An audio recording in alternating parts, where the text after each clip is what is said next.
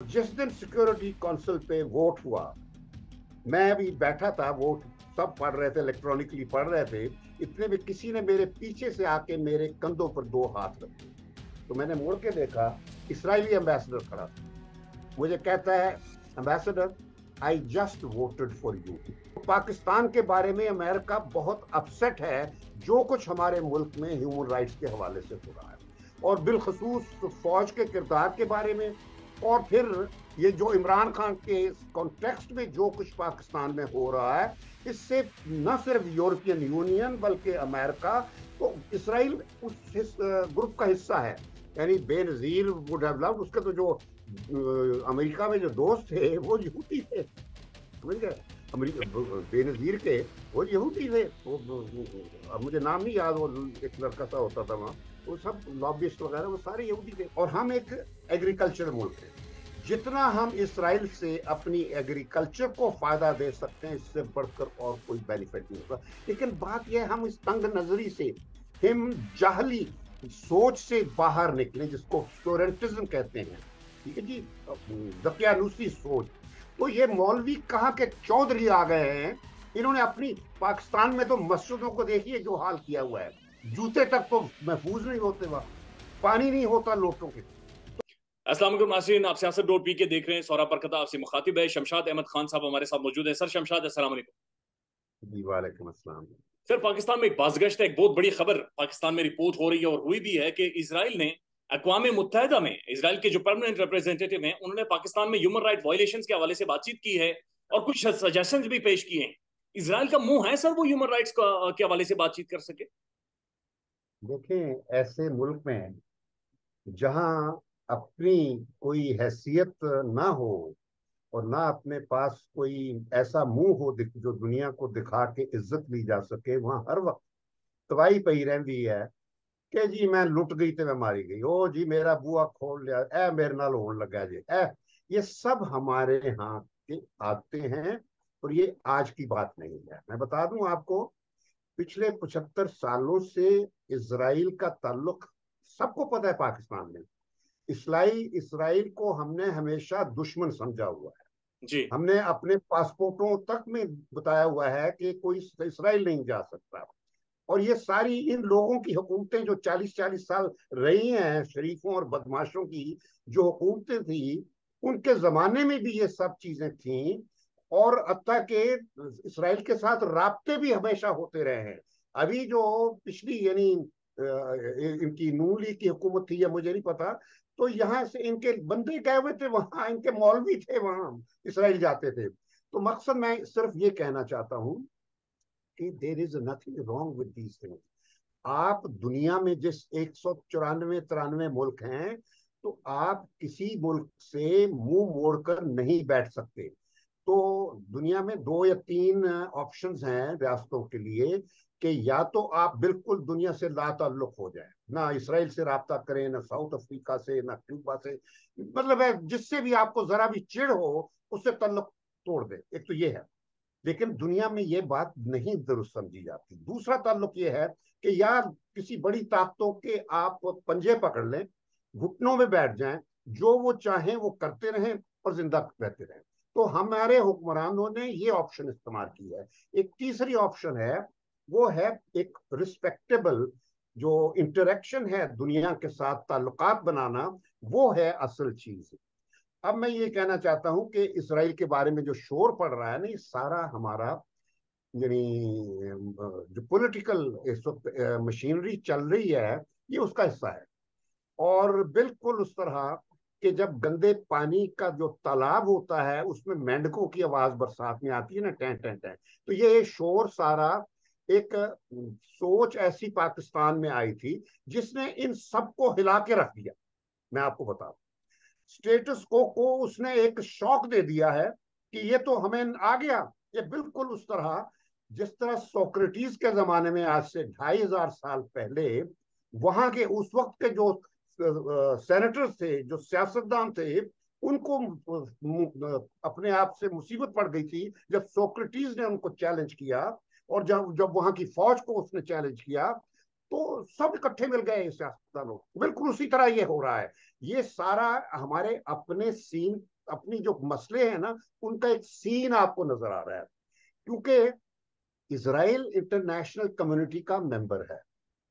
वो एक सौ तिरानवे मुल्कों में है यूनाइटेड नेशंस में सलामती काउंसिल में भी बैठता है, हर मीटिंग में बैठता है। और आपके सारे इस्लामी मुल्क अब इसराइल के साथ डिप्लोमेटिक रिलेशंस कायम कर रहे हैं। ये हमारी बदकिस्मती है। सौराब मैं आपको ये कहना चाहता हूँ कि हमने अपने साथ दुश्मनी एक करके हालाँकि हम इंडिया के साथ जो हमारा सबसे बड़ा दुश्मन है उनके साथ हमने सफारत भी रखी हुई है। ये इसराइल की क्या आपको है? यानी यहूदी अहले किताब हैं। वो वह तीन ही तो उम्मतें के क्रिश्चियन मुसलमान और यहूदी तो वो अहले किताब हैं तो वो अरबों को झगड़ा था, फलस्तीनियों के साथ उन्होंने जुल्म किया था तो फलस्तीनी बजाते खुद उनके साथ रह रहे हैं, फलस्तीनी सदर है, रियासत बनी हुई है तो हम पता नहीं कहाँ के चौधरी बन गए हैं। दुनिया में कहीं भी जब इस्लाम का शोर पड़ता है, ये जाली जो यहाँ मौलवी है ना पाकिस्तान का, जाली तरीन ये शोर डाल देते हैं कि जी जैसे इस्लाम खतरे में पड़ गया। वो सऊदी जहाँ अल्लाह ने सारी जो हमारी जो शरीफैन है जितनी भी वो जन्नतुल हाँ वो है तो वो जो है वो इस्लाम के बारे में इतना रिएक्शन वायलेंट और ऑब्सक्योरेंटिस्ट यानी जो होता है ना बिल्कुल जालों वाला वो नहीं दिखाते। हमारा मौलवी सड़कों पर लोगों को ले आएगा छातियाँ पीटेंगे दुनिया में एक मुजाहरा करेंगे भी ठीक है जज्बात होते हैं, उनके मुजाहरे का तरीका होता है। एक तो ये है। लेकिन मैं इसराइल की अब आपको बताना चाहता हूँ कि बहुत दफ़ा ये बड़े अरसे से सोच विचार रही है सोरवर्दी के जमाने में। तो बवजूद क्योंकि सियासतदानों में तो कभी भी इतफाक नहीं पैदा हो सकता था। जब वो नौ साल थे ना, जब पुराने सियासतदान अयूब से पहले अयूब, बाकी अयूब ने आ गया अयूब ने कम अज कम उस, इस पाकिस्तान को एक बड़ा स्टेचर दिया तो उसको भी ज़रूरत पेश नहीं आई और उस वक्त इसराइल की इतनी अहमियत भी नहीं थी, ठीक है जी? और उसके बाद जू जू वक्त गुजरता गया तो इसराइल अहमियत इतनी बढ़ती गई कि सारे मुसलमान मुल्क, टर्की से लेकर आपकी सारी गल्फ की रियासतें, सऊदी अरब मोराको तो सारे मुसलमान जो बड़े बड़े मुल्क हैं उन्होंने तल्लुकात रखे हैं। बल्कि मुझे याद है, मुशर्रफ ने बड़ा एक इनिशिएटिव लिया था इस बारे में। मुशर्रफ बड़ा रियलिस्टिक आदमी था इस हवाले से। उसने मुझे याद है, मुझे याद साल अस्सी का होगा तो मैं उस वक्त अम्बेसडर था यूनाइटेड नेशंस तो मुझे अच्छी तरह याद है कि वहाँ जब मुशर्रफ आया तो वहाँ तो होता है ना लाउंज में, इसराइली प्राइम मिनिस्टर भी आता है तो वो जब आए तो मुशर्रफ ने बड़े अच्छे तरीके से उनसे हाथ मिलाया इसराइली प्राइम मिनिस्टर से। तो मिल बात बातें होती हैं, बल्कि उससे पहले ये था, अस्सी की दिहाई में एक हमारे डेलीगेशन में आते थे पीपी उधर से थे, सिंध से थे, मुझे अब नाम नहीं उनका पता। तो वो बड़े अच्छे मजका किस्म के वो थे। मैं सिर्फ़ आपको जरा डिटेल देना चाहता हूँ आपके सवाल के जवाब में आने से पहले। तो वो डेलीगेशन का मेंबर थे जनरल असेंबली में अक्सर बैठे रहते थे लाउंज में तो एक बड़ी खूबसूरत इसराइली लड़की थी इसराइली डेलीगेशन में। तो उसके साथ बैठे कॉफ़ी पिया करते थे। वो पाकिस्तान के जियाउल हक उस जमाने में प्रेसिडेंट था और ये बड़े करीब थे जियाउल हक के। तो वो उसके साथ गप्पे मारते थे।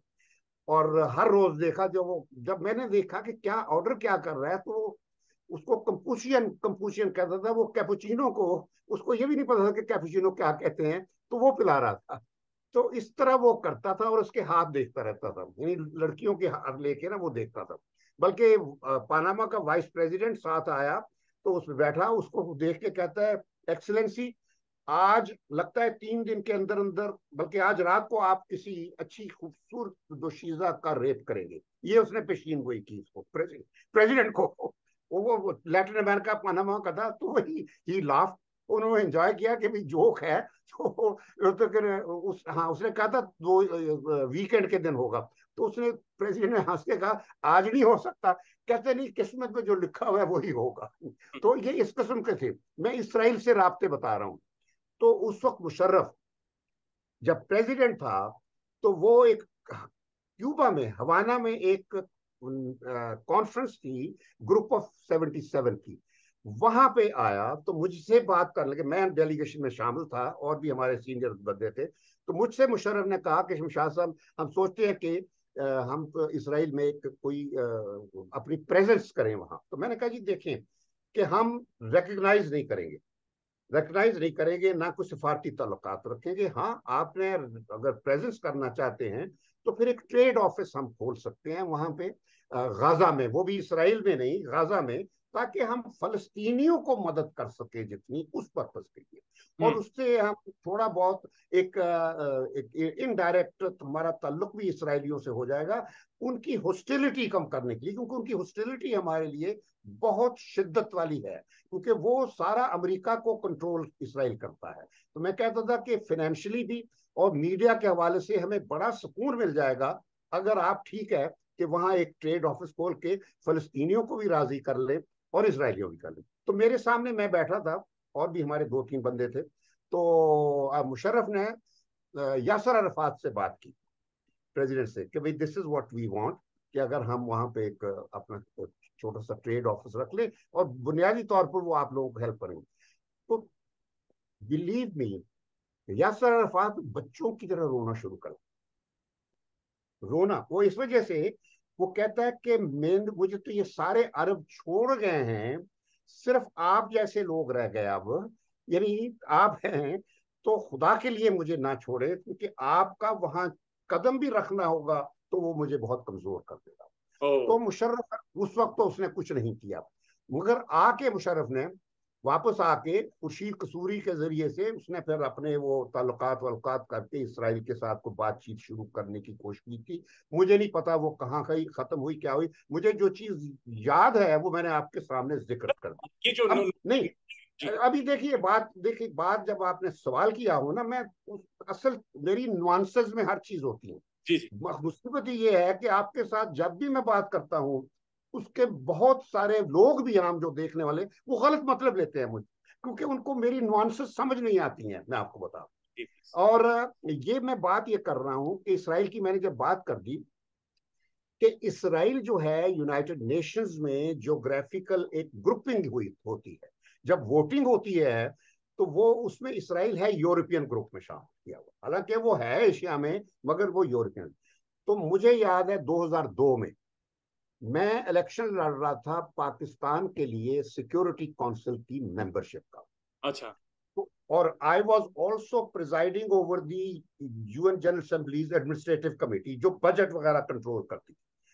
तो मुझे एक दफ़ा अमेरिका का एम्बेसडर क्या था नाम रिचर्ड हॉलब्रग वो मुझे मेरे पास आया कि Shamshad I need your help के कहने लगा कि बजट का वो होना है वोट तो आप तो क्योंकि एक अमेरिका की पोजीशन थी, जिसमें वो चाहते थे कि और इंडस्ट्रियलाइज मुल्क हैं, उनमें भी डिस्ट्रीब्यूशन होना चाहिए, बजाय अमेरिका को सारा बजट देना तो भी आप हमारी मदद कर दें। तो and if you do that I will do whatever you would want me मुझसे उसने ये कहा, ये होता है लेना देना। तो मैंने कहा कच ठीक है। तुमने फिर मुझे ये करना है, मैं तुम्हें ये कर देता हूँ कि यूरोपियन ग्रुप जो है उसका मुझे पूरे का पूरा वोट दिला दो। Security hmm. को। उसने कहा डन अब ये सुनिए बात मेरी। तो जिस दिन सिक्योरिटी काउंसिल पे वोट हुआ मैं भी बैठा था वोट सब पढ़ रहे थे इलेक्ट्रॉनिकली पढ़ रहे थे इतने में किसी ने मेरे पीछे से आके मेरे कंधों पर दो हाथ रखे। तो मैंने मोड़ के देखा इसराइली एम्बेसडर खड़ा था। मुझे कहता है ambassador I just voted for you उसने मैं कहना ये चाहता हूँ कि इसराइल चूँकि उस ग्रुप का हिस्सा है जिसका पाकिस्तान पे वोट हमें मैंने ले लिया था हॉलब्रुक से अमेरिका से तो Israel had to vote for Pakistan. ठीक है? एक बात ये समझ जाए आप। उसके बाद में आता हूँ कि जब भी वहाँ पे जो ये ह्यूमन राइट्स काउंसिल हो एकोसॉक हो ये सब जो होती हैं वहाँ ये सब बड़ी ताकतें कंट्रोल करती हैं। और ह्यूमन राइट्स जो उस जमाने में ह्यूमन राइट्स कमीशन कहते थे, अब उसको ह्यूमन राइट्स काउंसिल बना दिया है। तो ह्यूमन राइट्स में जो वोटिंग होती है, वो अमेरिका मैनिपुलेट करता है। उसके कहने पे हर चीज़, लोग तकरीरें भी उसके कहने से करते हैं। हर चीज़ वहाँ एक्टिविटी अमेरिका की ख्वाहिशात के मुताबिक होती है। तो अगर इसराइल ने ह्यूमन राइट्स काउंसिल में शोर डाला है तो Israel is killing two birds with one stone एक अमेरिका की ख्वाहिशात पर अमल किया है उसने। क्योंकि अमेरिका जो खुद नहीं काम जिस कर सकता तो अपने पिठों से करवाता है। तो पाकिस्तान के बारे में अमेरिका बहुत अपसेट है, जो कुछ हमारे मुल्क में ह्यूमन राइट्स के हवाले से हो रहा है। और बिलखसूस फौज के किरदार के बारे में, और फिर ये जो इमरान खान के कॉन्टेक्स्ट में जो कुछ पाकिस्तान में हो रहा है इससे न सिर्फ़ यूरोपियन यूनियन बल्कि अमेरिका तो इसराइल उस ग्रुप का हिस्सा है।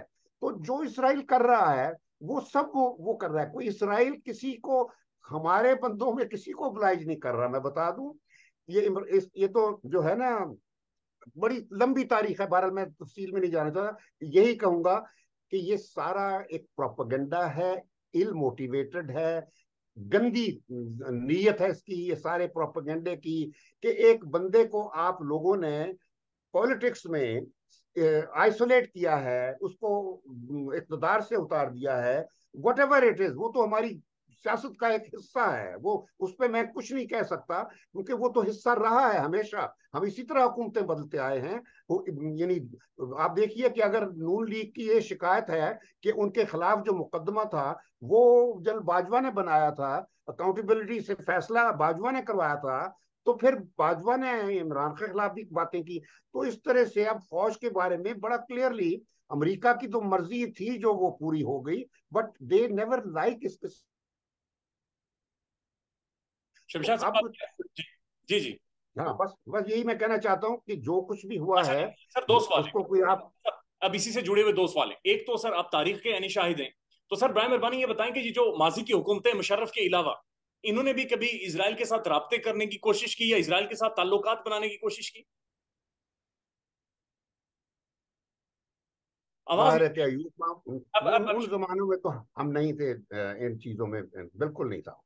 लेकिन जब अरबों की जंग हो रही थी इसराइल के साथ तो उस वक्त तो ज़ाहिर है कि हमारा कोई इनसे रबते का सवाल ही पैदा नहीं होता था।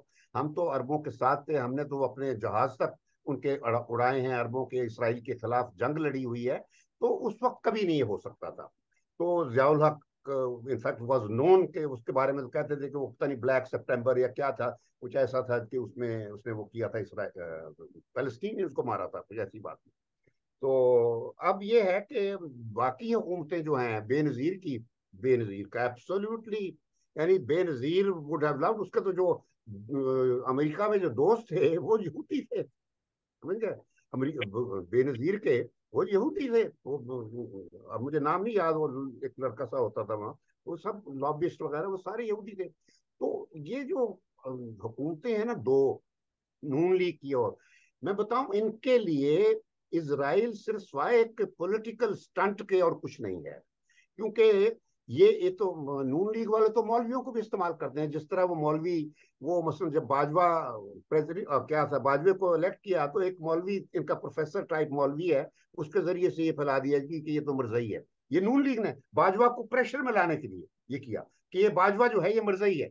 तो वो फिर जब बाजवा ने कह दिया कि जी आप शोर ना करें ठीक हो जाएगा। तो फिर वो नून लीग ने उसको काम डाउन तो इस तरह एक्सप्लॉयट करते हैं ये लोग। तो अब ये सारा प्रोपोगंडा इस वक्त सारों की टारगेट जो है ना वो इमरान खान है। बस उसके लिए ये कर रहे हैं। तो मैं नहीं समझता इससे अवामी सतह पर कोई माइंड चेंज होगा क्योंकि जो इस इमरान खान का जो फिनोमिनन था जो सोच का वो मैं बता दूँ कि वो उसने हमारे पाकिस्तान की जो यंग जनरेशन है उसको बहुत मुतासर किया है।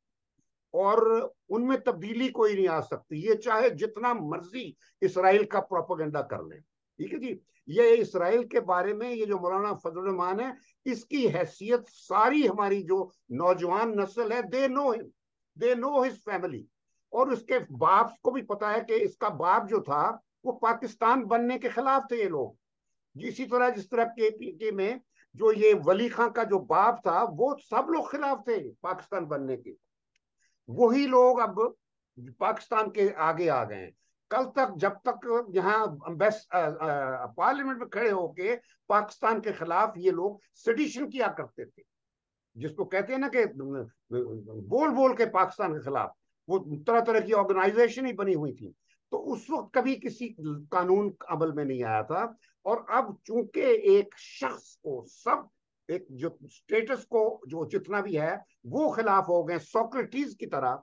अब इनकी ख्वाहिश ये है कि सोक्रेटिस की तरह इसको भी मार दिया जाए, जहर दे के, और इसको कहा जाए कि तुम जहर पी लो। बस ये इनकी ख्वाहिश है, ये मैं बता दू। तो अब लेकिन जो अवामी सतह पर, जिस तरह यूनान में, उस वक्त के यूनान में लोगों की सतह पर एक रिएक्शन हुआ था, उसी तरह पाकिस्तान में यंगर जनरेशन अब ये ये कभी होने नहीं देगी। अच्छा शमशाद साहब आखिरी सवाल।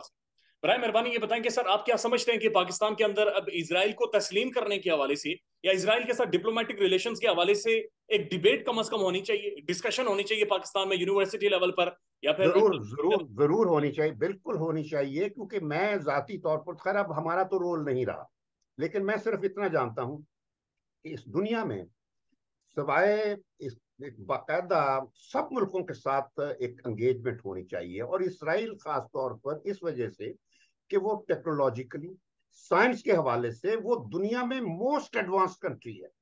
जितने भी इलाज के मेडिकल चीज़ों के इन्वेंशन हुई हैं, वो यहूदियों ने की। तो हमें और हम एक एग्रीकल्चर मुल्क है। जितना हम इसराइल से अपनी एग्रीकल्चर को फ़ायदा दे सकते हैं, इससे बढ़कर और कोई बेनिफिट नहीं होगा। लेकिन बात यह हम इस तंग नजरी से, हम जाहली सोच से बाहर निकले, जिसको स्टोरेंटिज्म कहते हैं। ठीक है जी?